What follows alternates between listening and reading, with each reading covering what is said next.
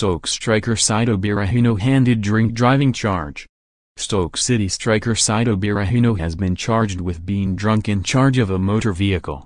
The 25-year-old was arrested in Bloomsbury in central London in the early hours of Monday morning.